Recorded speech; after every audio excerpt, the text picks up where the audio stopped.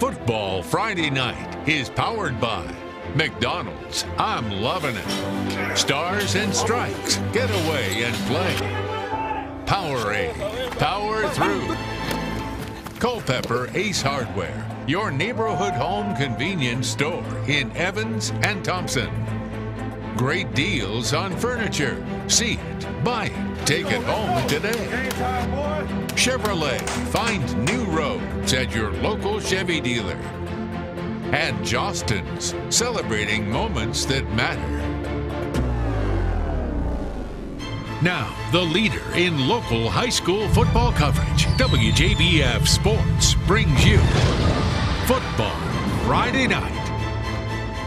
Welcome in week six of Football Friday Night. Brendan Robertson alongside Colin Cody, almost halfway through the high school football season. I can't believe it, Brendan. And that's right, we'll always have 30 minutes of highlights coming up your way, including a bunch of region games for a lot of our Georgia teams. That's right. The Lakeside Panthers undefeated at 3 and 0. They've already got two wins over teams from South Carolina, Aiken High last week, and South Aiken. Tonight, a third game against a team from across the river, taking on 1 and 4 Emerald from the Greenville area. Panthers up 14 0, 6-18 left in the first half. Watch them go to work. Jaden Taylor hits Zaylon Hawes. His mom emailed us. We got his name right this week. All the way down to the six yard line. Thank you, Miss Hawes, by the way.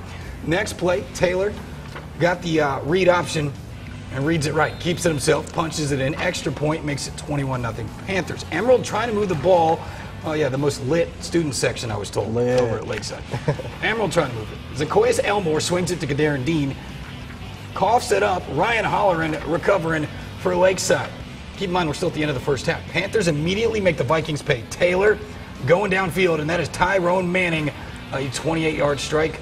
Lakeside blowing it open, 28 0. Still 119 left in the half, though. They weren't done. They used their timeouts, force another punt, get the ball back. Taylor hits Zaylon Haas again for a 30 yard gain. First down, point to him. There it is. And right before the end of the half, Taylor going to hit Jordan Driscoll in the back of the end zone. Lakeside with three touchdowns in the final six minutes of the first half. Steve Havens Ball Club undefeated. They won 42 to 7. Greenbrier 0 3, taking on 0 5 Baldwin. Somebody getting their first win of the season. Wolfpack on their opening drive. Jackson Fulmer swings it over the middle to Zach Kilpatrick. Great run and getting some key blocks. Nice.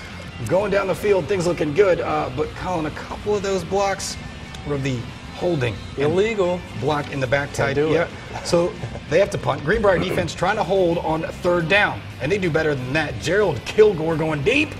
Wilkes Riggins picks it off, going the other way for the Wolfpack, and they were fired up. It was Jersey night in the Wolfpack student section. Ensuing drive, Fulmer going deep down the sideline. And watch the adjustment and the catch here from Braden Collette.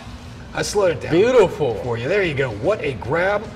Gets them inside the five. They would punch it in with Zach Kilpatrick. Took a 7 0 lead, but it was all Baldwin after that 26 14.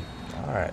And Thompson and Grovetown both 2 and 2. The Bulldogs averaging almost 400 yards of offense per game. Grovetown's Simeon Barrow averaging two sacks per game. Hoping to slow down Thompson tonight. Now, the Grovetown community showing solidarity with Thompson community after that devastating car crash yesterday. Picking up first quarter. Warriors lead 3 0. Tate Martin looking for his man, and he is picked off. Wow, by Kirk Smith. He jumps the route, and that's going to be six as he dodges a couple tackles and get into the end zone. Grovetown now up 10 nothing. Now Grovetown's defense still very, very strong in the first half. Here's Simeon Barrow, like he said, Big boy. At least two a game. That's a tackle for loss right there. A few possessions later, this time Martin hands off to Snoop Williams, and he does right. He follows his blockers, gets down to the sideline, and he's going to go all the way down until the 20-yard line. Martin finishes the drive with the QB keeper Bulldogs finally on the board now, 10 to 6. Now third quarter we go. Dylan Hobbs is going to call his own number for the easy punch in. Thompson ahead now, 12 to 10. But Grovetown comes back with a fourth quarter comeback. Final score 12 to 16. Also, Burke County, number eight in Class 4A on the road against Effingham County. Burke County's Wanya Dove with the nice fake keeps it muscles his way for a huge first down.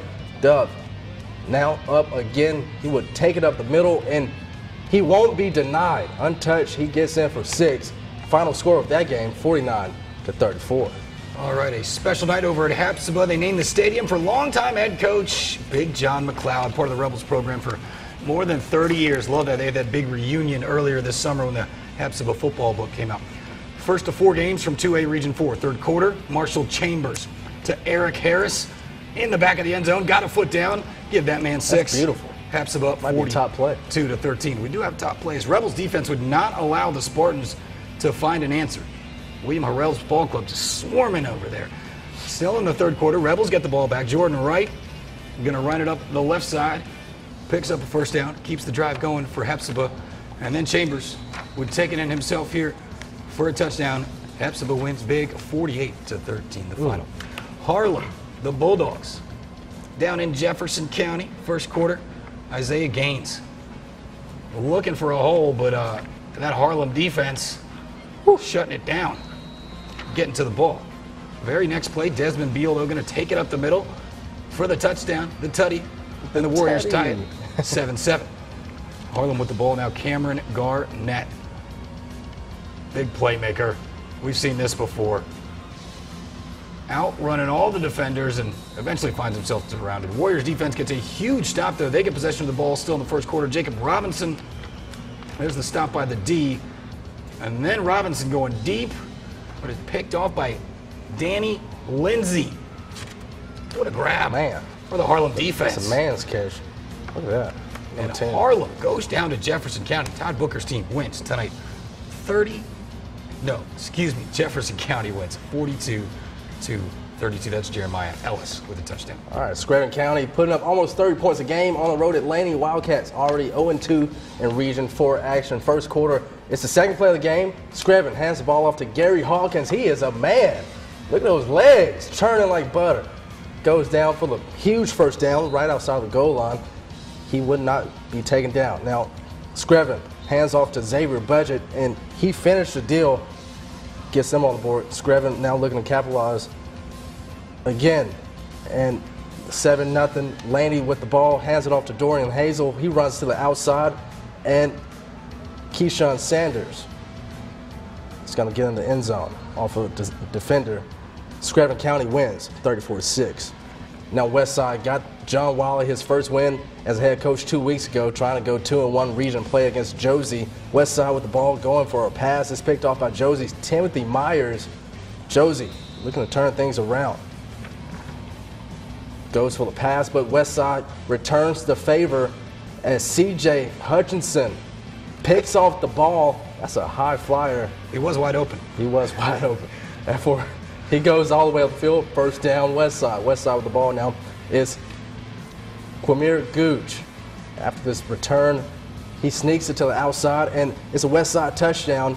West Side scores 42 nothing final, 49 nothing in favor of the Patriots. All right, we got some scores for you.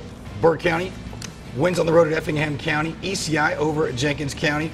Washington Wilkes 20 to 14 over Hancock Central. Lincoln County a big win against Warren County 41 to 14. All right, don't go anywhere. Just did the Georgia games. Got plenty more when we come back right here on Football Friday Night.